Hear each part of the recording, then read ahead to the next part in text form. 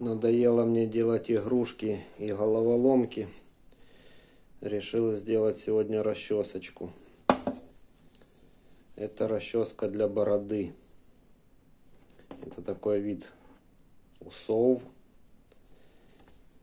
Ну, как бы в интернете описание такой тип расчески это для бород.